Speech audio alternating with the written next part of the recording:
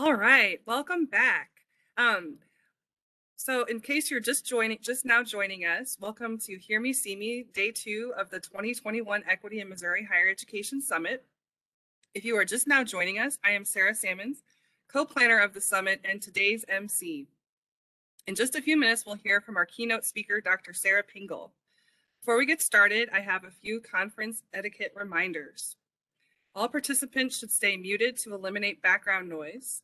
We want to see your faces, so if you have a camera, please turn it on to better engage with us. All presentations will be live, so bear with us if, on any technical issues. The chat will be monitored for questions throughout the presentations, so if you have any questions for Dr. Pingel as we go along, please enter them in the chat. Later on in the, in the summit, if you enter a session and decide it's not for you, please close and head to a different session just like you would at an in-person conference. All sessions will be recorded, so you will be able to access them after the conference. And don't forget to engage with us on social media throughout the day using hashtag equity2021 at MoDHEWD and our new conference website, Eduvents. And speaking of that, I would be remiss if I did not also um, take this moment to thank MOCAN, the Missouri College Access Network, for sponsoring our department's new conference landing website, eduvents.dhewd.mo.gov. MOCAN's mission is to increase college and career readiness, preparation, access, and completion in Missouri, particularly for the underrepresented and underserved students, and aligns with, wonderfully with the work that our department is doing, and we appreciate all of their support. So let me go ahead and introduce our keynote speaker this morning, Dr. Sarah Pingel. Dr. Sarah Pingel supports the research and analytical capacity of the policy team in her role as principal at Education Commission of the States. She is a skilled presenter and facilitator on a variety of education topics, but especially issues of post-secondary finance and college affordability. She can be often found behind a spreadsheet or with her nose in state statutes. She's my kind of gal. Um, Dr. Pingel is passionate about supporting education leaders in their roles as decision makers and supporters of students across the educational spectrum. Please join me in extending a warm Missouri welcome to Dr. Sarah Pingel. Thanks so much for that welcome, Sarah, and I will try to, to live up to the, the bio that just preceded me. Um, so glad to be with you all today. Welcome to my guest room. Um, just glad to, to be here in this conference with all of you today. Certainly wish we could be in person. And, um, you know, we're, we're doing our best as we always do. So I'm going to go ahead and share my screen um, and get into presentation mode. So that that working well for everyone? Some thumbs up? Great. Um, Great. So Sarah mentioned that um, I am from the Education Commission of the States. If you have not heard of ECS, um, we are a national education policy organization that has been serving state policymakers in all 50 states and the District of Columbia for nearly 60 years. We're nonpartisan, unbiased, and cover the full spectrum of education issues from early learning through post-secondary and through workforce development we really think of ourselves as part of state education policy teams. Um, we believe that states have a lot to learn from one another and that there's a lot of power in learning from experience. And we think that informed policymakers um, um, can create better education policy. And so that's really where we where we like to shine, right, is in providing that information to inform the decision-making process. We do this in a few different ways. We do it through um, writing research reports. So you'll um, you may have um, seen in the past some of ECS's 50 state comparisons where we'll take a particular policy question and compare it across all 50 states. Um, we write reports analyzing some of that data and information. We host multiple convenings per year of state legislators, governor's offices, um, folks um, in decision-making capacity for higher ed and for other sectors of education.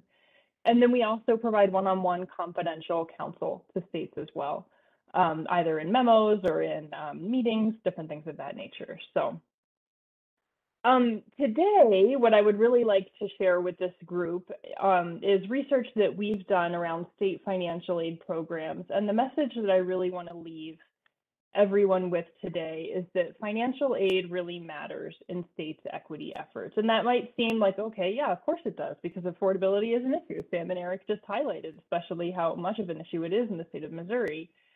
Um, but I think that states have a key role to play when it comes to their financial aid programs and the power that those programs hold to help make um, to help improve equity within their states, right? To help make sure that um, opportunity in higher ed is available to all students, sure, but especially to students that are Black, Hispanic, students of color, um, Indigenous students, students from low income, students from rural areas. Financial aid programs hold um, a lot of power in helping to make affordability issues less prevalent for students from these populations, especially.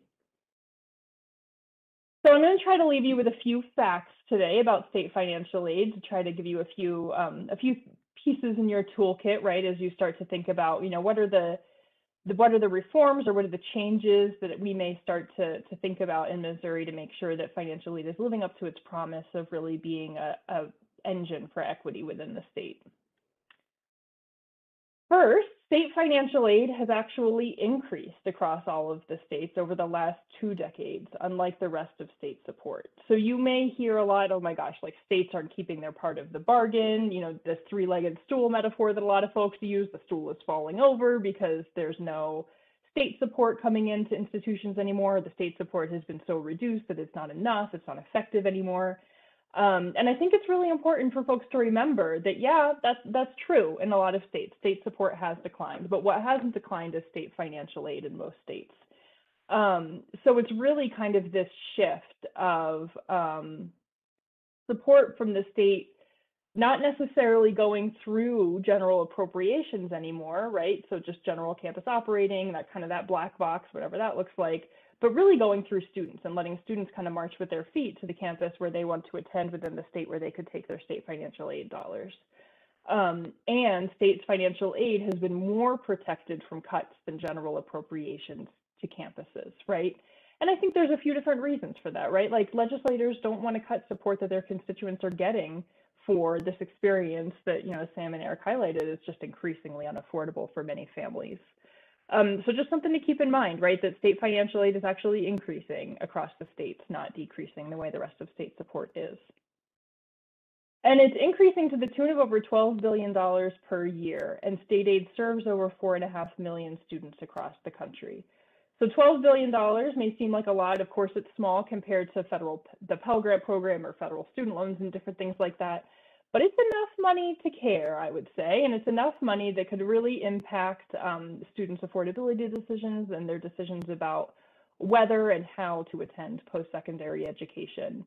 Um, and on a per student basis, these awards are usually pretty significant, right? So we're not talking, you know, two, $500. They're usually a couple thousand dollars that students are receiving a year um, that can really support their success in post-secondary education, whether it's defraying some of that tuition expense or whether in some states that aid is creating a refund that they could then use for living expenses or textbooks or different things like that, this aid can have a really big impact for students that are receiving it.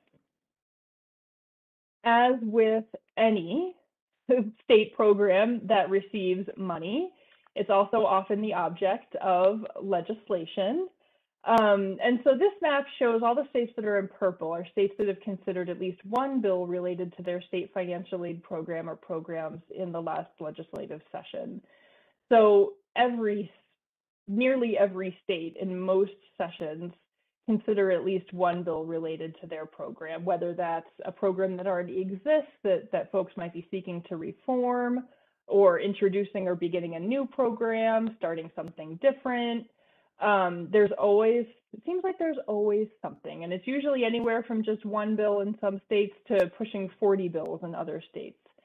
Um, so it's rare that um, financial aid programs aren't the object of legislative attention and gubernatorial attention too for that matter.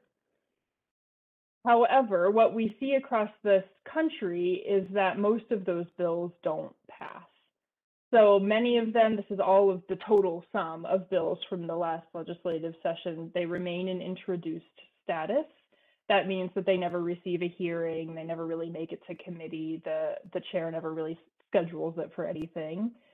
Fewer pass through the first and second chambers, um, and far fewer than that. So only about a quarter of um, of the bills that were introduced in the last session were actually enacted, made it to the governor's desk, got a signature. Um, for a lot of reasons, right? I think because financial, because college affordability is such, you know, a big capital C, capital A college affordability issue right now. Um, there's a lot of folks with ideas about how to make it better, right? And so those folks with the power to introduce legislation are going to do that. And far fewer of those ideas, and this isn't just unique to financial aid, right? This could be true of preschool or of any other kind of education issue or health or any other public policy issue. Far fewer of those bills make it um, to the governor's desk. So the ones that do usually have pretty strong legislative champions. They have support of the right people, and especially in financial aid programs, they have um, the cost and the, the fiscal note support behind them as well. So just a little bit of kind of under the hood of where those bills kind of stand and where they move. Across all of the bills related to state financial aid programs that we tracked in the last year, um, there are three really big trends. And I think that these trends um, have been somewhat prevalent in Missouri too. The first one by far is workforce development. So state legislators are across the bills that we read related to state financial aid programs. And I should have mentioned it's all of the bills related to state financial aid programs that we read. So we're not kind of picking from here and there. We, our team literally, and I, when I say our team, I really mean me because this is like my passionate issue. Um, we read them all across all 50 states. And workforce development is really the most prevalent trend that we're seeing right now. So um, legislatively, states seem to have a pretty significant appetite for linking college affordability efforts to how um, how students will complete college and then how they will interact with the workforce after graduation. So we're seeing more and more programs that are tailored down only to perhaps a certain subset of academic majors or ac academic areas, um, usually linked to a list that isn't specified in statute, but gives the authority to perhaps a workforce development board or a state SHEEO agency, someone like the Missouri Department of Higher Ed and Workforce Development, to develop a list and to update that list regularly. So not only, and this is kind of a new ask of a lot of institutional aid offices, if I have any institutional level folks in here, not only are you having to monitor does this student qualify based on their academic major, but is that academic major going to remain one of those in need fields over the years? Um, so those kinds of linkages between specific fields that are deemed kind of in need for states is huge right now. Another trend across all of the state financial aid legislation that we read last year is COVID-19 response. So for um, a need-based program that might look like adjusting deadlines to get the FAFSA in, knowing that, that that's been a little bit more difficult for students and families over the last couple of years. Um, for merit-based programs, it might look like relaxing testing requirements because it's been difficult for students to access testing sites, testing centers, testing dates to, to get SAT and ACT scores. Um, but anything that has to do with relaxing requirements so that students during this time of COVID-19 could actually like feasibly become eligible for the program has been key. Um, and then finally, we're seeing still a lot of free college bills. Now, we define free college pretty broadly at Education Commission of the States. I include a bill as a free college bill if it um, calculates a last dollar award amount. So if any kind of scholarship that's going to cover um, the last bit of tuition and fees. And this is really the most popular way right now to calculate award amount is doing this um, this free college amount. So this last dollar of tuition and fees to ensure affordability. There are far fewer state programs that award on a first dollar basis or any kind of um, entitlement basis, if that makes sense. Um, and it's still what 8:15 in the morning, so I'm going to take a sip of coffee really quick. We were earlier in Mountain Time. I should have mentioned that ECS is based in Denver, so I'm a little bit behind you guys this morning in my coffee intake. Um, so a couple more facts I want to leave you with around state financial aid programs. So not only do states invest a lot of money and do a lot of do a lot of legislation, but introduce a lot of legislation around the topic. And not only are they focused on these three main topics of workforce development, COVID-19 response, and free college, um, state financial aid programs are also usually based on financial need. Um, and so states generally at times can get a lot of flack for um, for merit-based awarding. And I something, you know, as I work in DC circles that I'm generally um, working against is this narrative that states only award aid based on merit. And it's actually just really not true. The data don't bear it out. Most state aid programs are awarded based on financial need. And most state financial aid programs provide the most support to students at four-year public institutions. Um, if we were in person, this is one of my favorite kind of call out to the crowd questions. What do you, so just, I guess, think to yourself or maybe pop it in the chat um, the le- the next greatest group. So after four-year public institutions, which sector of higher ed across the country do you think receives the most support from state financial aid programs? And I can't see the chat right now in presentation mode. So if someone wants to have the, the courage to call out and unmute and let me know what might be appearing in the chat box, that would be really helpful. Um, I can call, excuse me, call out. So people are guessing community colleges. And that's usually what people guess, but it's not. It is four-year private institutions. So across the country, the most dollars are funneling to four-year public institutions and then to four-year private institutions, with two-year public institutions trailing behind that. And in some states, and um, since we're doing a one-state presentation, I'll call them out, it's Iowa, um, state financial aid actually only goes to four-year private institutions. So a lot of state aid programs were predicated on this idea of equalization, right? People should have choice. They should be able to pick whatever institution they want to go to. And so we should provide state aid to equalize tuition between the private and the public sector. And the vestiges of that, the residue from that policy idea still remains today in the way that state financial aid programs are dispersed. And I don't have to tell this crowd that that has very clear equity implications. Not to say that four-year private institutions can't serve students of color well, but we do know based on enrollment trends that many low income students, students from rural backgrounds, Black students, Hispanic students, students are more likely to enroll into a two year public institution and they're less likely to take a, a state financial aid award with them to that institution than a student with um, a different background in a four year private institution.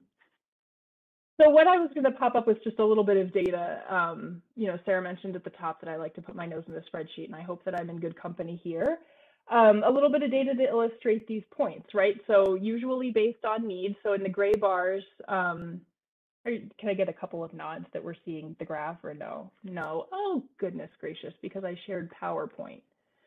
Um, let me see if I can switch that. You'll bear with me for just a second. One of the researchers on our team spent um, a good bit of time putting this together. And so I would be remiss if I did not spend 30 seconds right now switching to screen share so that y'all can see this fabulous data. Um, is that better for folks? We can see it. Perfect. Thank you so much, Sarah. So the gray bars show merit-based dollars dispersed. This is all in constant 2021 dollars across all of the states. So this isn't just Missouri. This is all 50 states and DC and Puerto Rico put together and the purple bars show the need-based dollars dispersed. So you can see that, yeah, merit-based disbursements are rising across the states, but they're certainly not eclipsing or close to what states are investing in need-based programs. And then the next data point I wanted to illustrate to support the point around need-based dollars by sector. So this is the orange bars is two-year in-state public institutions and how much need-based aid they receive from states every year. Then again, this is all 50 states, DC, Puerto Rico, everyone together. This isn't just Missouri. And then the amount of aid that students receive in four-year in-state public institutions. Um, a graph like this is usually justified by the fact that tuition is more expensive in four-year public institutions, and that's why there's more money flowing to those institutions, right? The students in four-year public institutions just need more support than students in two-year private, two-year public institutions. Um, and because most state aid programs only cover the cost of tuition and fees and don't provide any kind of cost of living refund or anything like that, like, yeah, okay, it's true, the tuition is usually higher.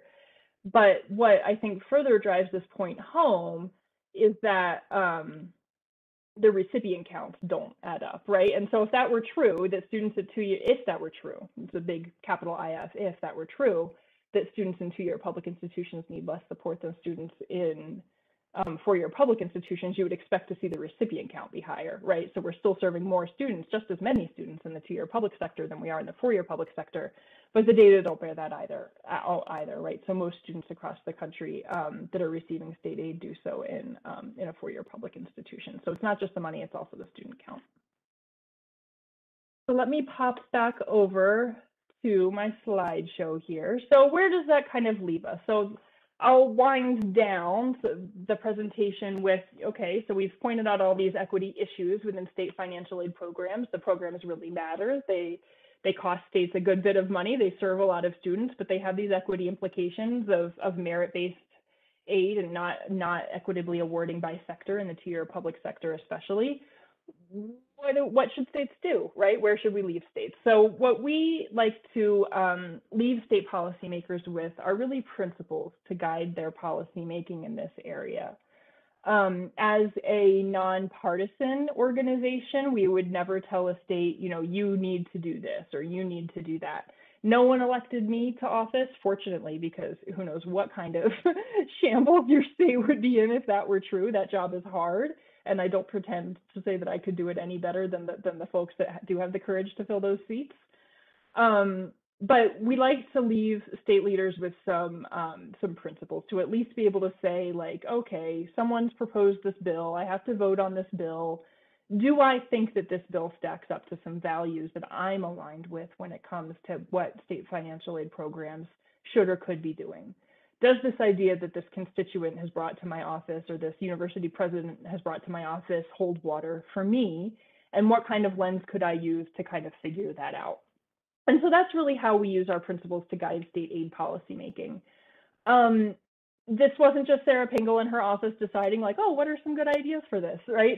This was the collective work of a group of folks that at ECS we convene regularly called thinkers. So this was folks that are um, intimately involved in state aid policy um, and practice, and some experts in the field that we've brought together to um, really take a blank sheet approach and say, you know, if I were a legislator and if I were considering reform in state financial aid, what should those reforms look like?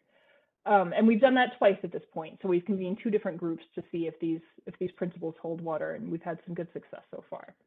But certainly open to feedback on that point. So the first principle is that state financial aid programs should be student-centered. That means that we believe aid programs should be designed around students and their needs, and that when you do this, you set students up for the most successful outcomes. So what could this look like in practice? We use an example um, from the state of California where they do require a high school GPA for one of their program's eligibility requirements. And they used to require students to turn into their state financial aid agency a high school transcript to verify that GPA. Um, and that just puts more onus on the students to turn more things in. It puts more onus on the California State, um, the California Student Aid Commission to receive and process those transcripts, right? Um, and so a student-centered reform that they've made recently is just to automatically share that data between K-12 stakeholders, between high schools and the Aid Commission. We think this is a really good example of a student-centered reform because it takes it, it's designed around what the student needs, right? Like the student doesn't need to be between two different state agencies that are trying to determine whether or not they're eligible for this program. State agencies can work to streamline some of this. Of course, there's a million other examples of student-centered reforms, um, but making sure that the design of the program and especially the design of the eligibility pathway centers the student really matters a lot. The second principle is that state aid programs should be goal-driven and data informed.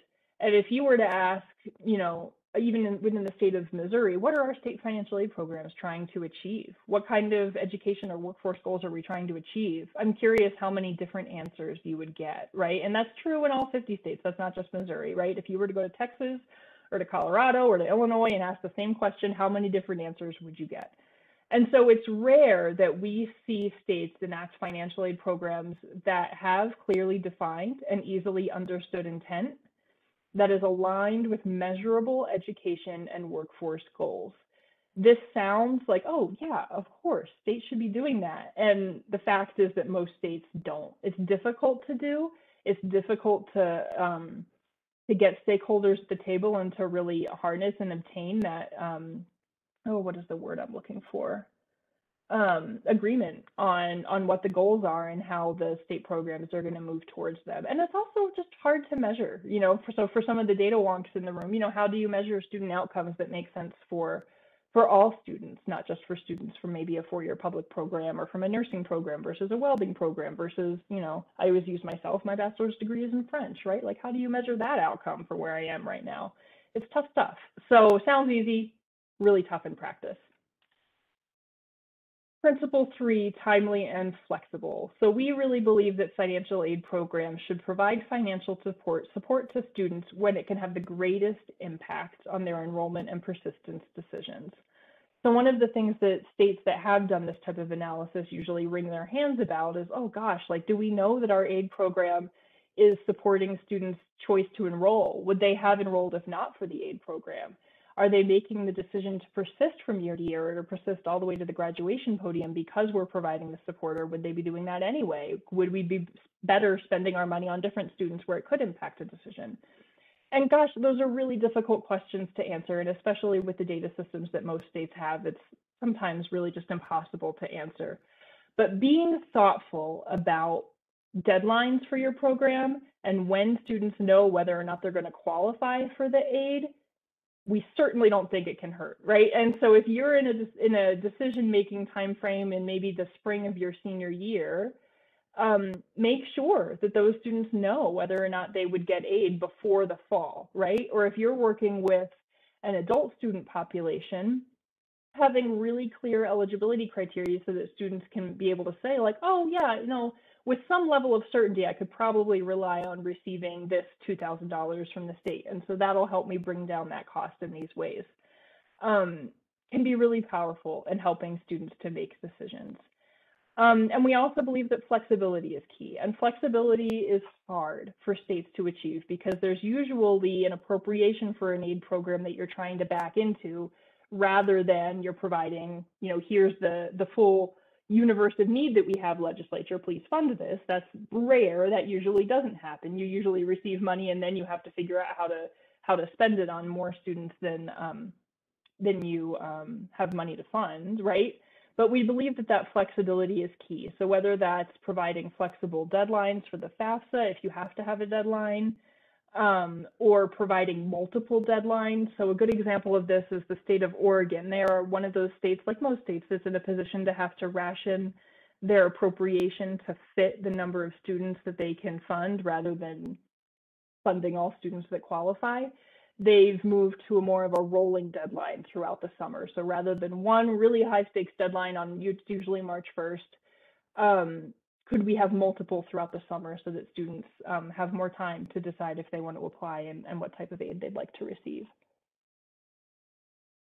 And I promise you there's only four principles. So we've done three out of four, only one more to go. The fourth principle is broadly inclusive. So we believe that financial aid programs should be broadly inclusive of all students' educational pathways and responding to the diverse enrollment options available to students today.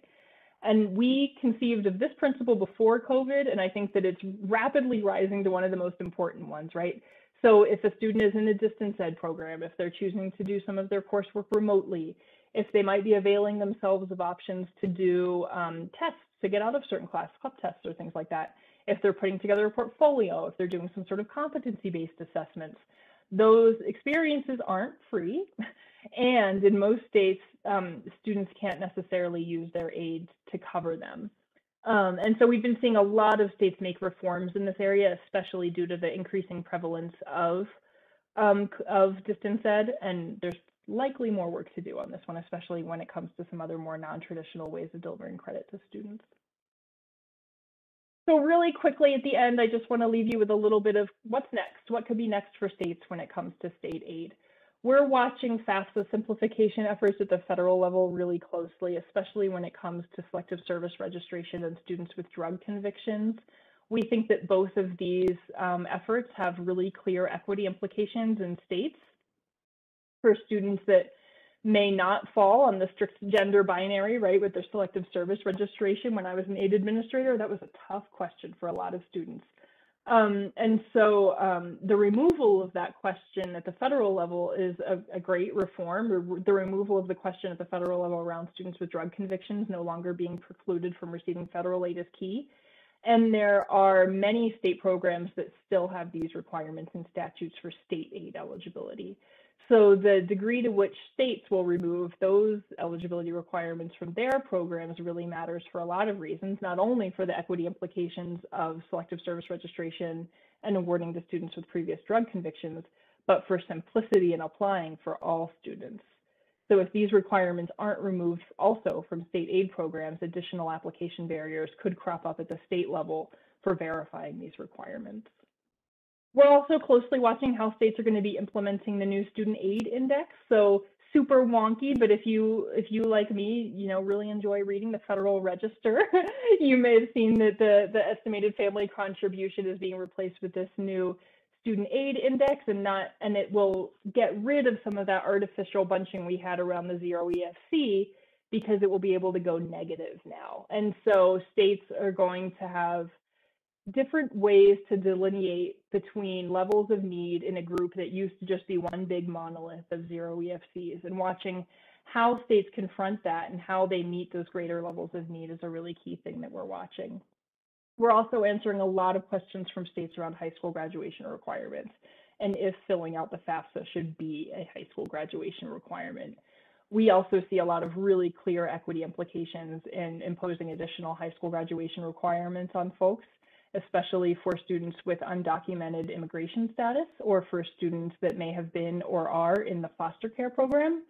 Um, and so it's something we're watching really carefully to make sure that states are thinking about, okay, if you're going to go down this path of adding the requirement, you need to make sure that you're thinking about students who just, for whatever reason, won't be able to, to meet that requirement. So that is where I will leave you. I know I went a little bit over where I wanted to go today in terms of time, but please do feel free to email me with any questions, comments, concerns. You can find me on Twitter at Sarah underscore Pingel as well um, gosh, I need a new headshot. You ever look at your headshot and you're just like, geez, this isn't working for me anymore. But you know, live and learn. Um, feel free to shoot me an email, and if we do have any time today, um, I'm happy to answer any questions as well that we may have had in the in the chat. Well, thank you so much, Sarah. Um, this has been a very informative and um, wonderful opportunity to hear from you. So we do have some questions. So uh, we'll go ahead and get started. So the first question is Bright Flight and A Plus serve 21,351 students with $64.9 million, while $68.8 million serves the 43,845 students on need-based access and fast track. The non-need-based programs grant is approximately $3,038 per student, while need-based programs give 1,000 569 per student. Okay, thanks. This is a lot. Okay, um, given that data above, what easy opportunity can um, can our department do to provide more scholarship dollars to those with greater need?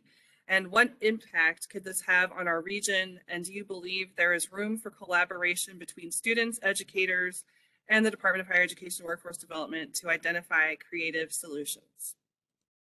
That's a lot. So, um, and hopefully you can see that in the chat too. I in case I didn't say any of the numbers correctly.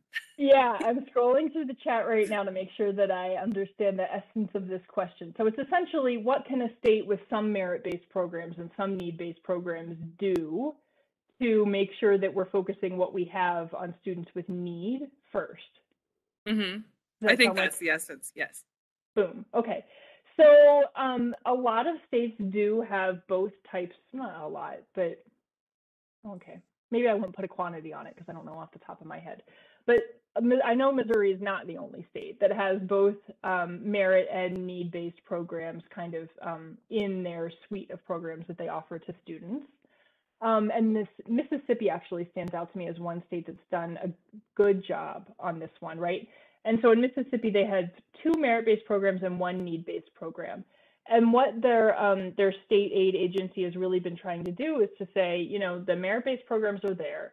Most constituents in the states want to see them stay there, right? Um, even you know, and they've they've hammered home the um, the relative high income of the students receiving that group that that funding and the the racial composition and the types of institutions those students attend. They've run that point home, and like the fact of the matter is the programs, you know, they're there. The legislature has no appetite to get rid of them. They're going to be there.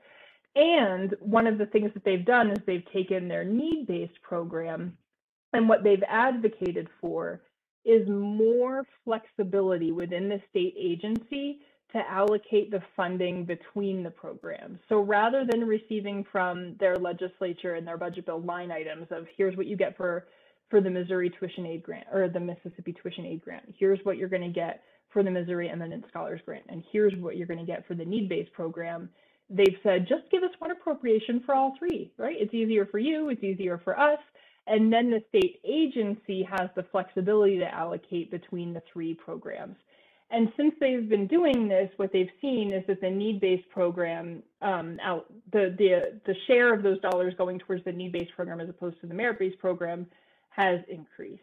And so they're still meeting certainly the letter of the law when it comes to implementing the merit-based programs and making sure that students who qualify for that aid receive that aid.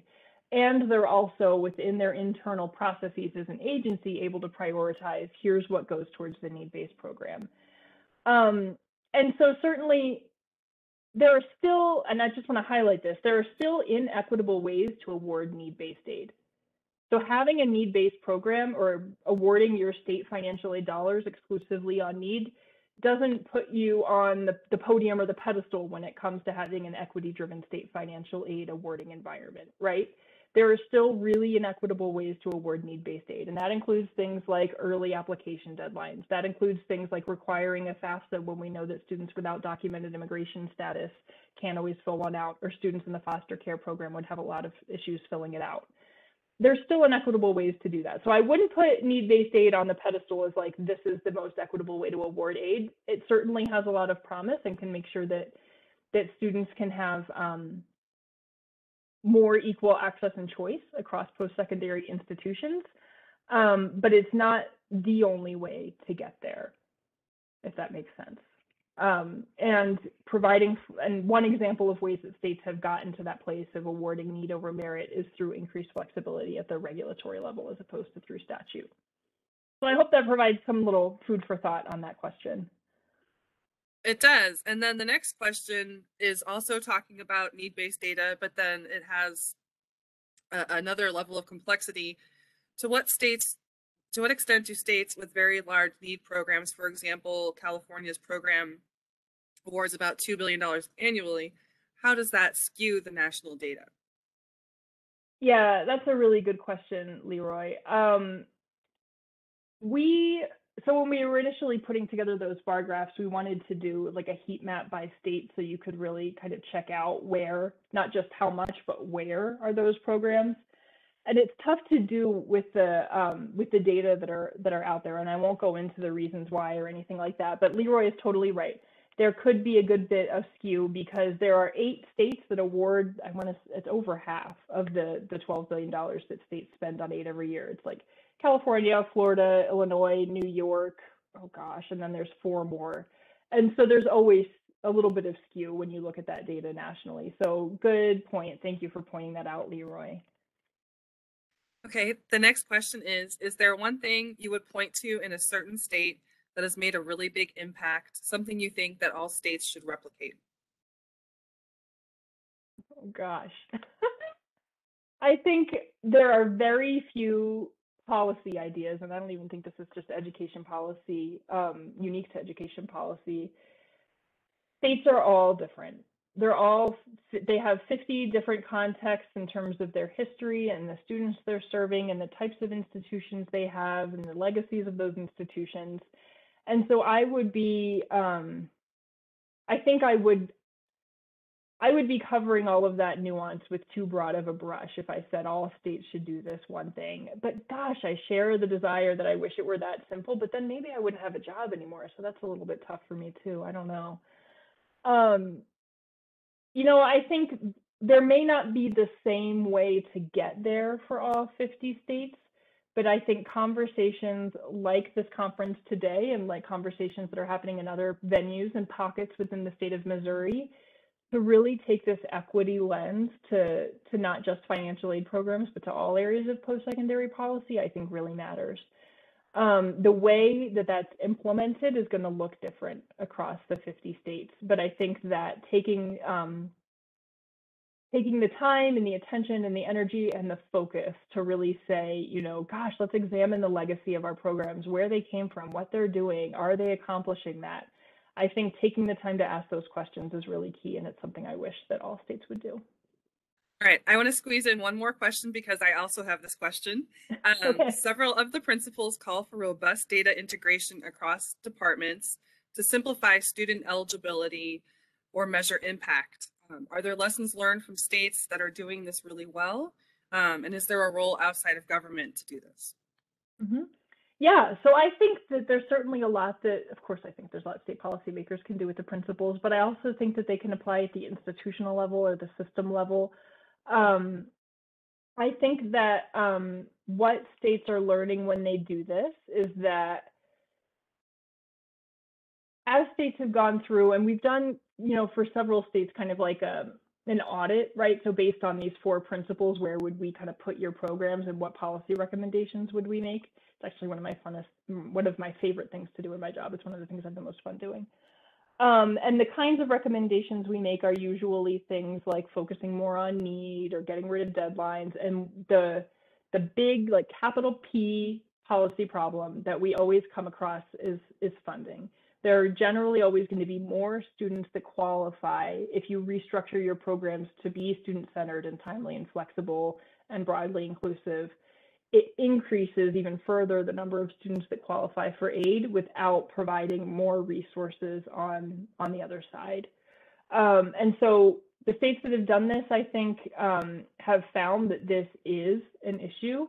Um, and it's one I wish I had the answer to, but it's you know one that um, perhaps with the infusion of, of stimulus dollars that can be ameliorated across the states too. That would be great. Um, and I do think that there is a role outside of government. I think that um, institutions specifically, um, especially institutions that have stood to benefit for a long time from the infusion of merit-based resources, can pause perhaps on their their advocacy for those programs and think more about okay well we could actually still benefit a lot from a state-based merit need-based program as opposed to a merit-based program right um, so getting institutions on board i think really matters and um, you know, I, I guess I would still put state agencies within that state government bucket. But in a lot of states, they do have a good bit of latitude to um, You should to be. be awarding um, in in ways that may or may not. Um, oh gosh, how do I want to say this? They do have latitude to set some of their own goals outside of what the legislature sets, and more state agencies could take more advantage of that. I hope that's All helpful. right. Well, yeah, that's, thank you so much. Um, we so much appreciate you coming and sharing your insights with us today and um, had a lot of wonderful data to share with us. So we really appreciate you you doing that. So um, we better uh, get on to our next pieces of the summit. So um, the time is 9:43. So you have about seven minutes to take a quick break, grab some coffee or whatever your caffeinated beverage of choice is, and join one of our fabulous breakout session presentations. Up next, we have two blocks of breakout sessions, um, which will run from 9.50 to 10.20, um, and the second one will run from 10.30 to 11 o'clock. During each block, we will present three concurrent breakout sessions. You can access those sessions using the Eduvents conference website, which I will put the link in the chat. And you're welcome to change sessions if you realize that there's one that you'd rather attend than another. And don't worry if you can't decide which one to pick because all of the presentations will be recorded and posted on our conference web landing website and on the Missouri Department of Higher Education website as well. So have a great uh, session and thank you again so much, Dr. Pingel.